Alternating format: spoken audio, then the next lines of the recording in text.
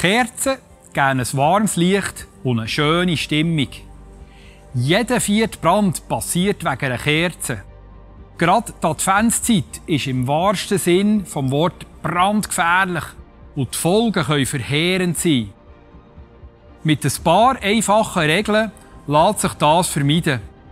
Scrollt auf dieser Seite ab und erfahrt alles, was ihr über einen sicheren Umgang mit Kerzen müsst wissen Bitte helft mit, Brände zu vermeiden.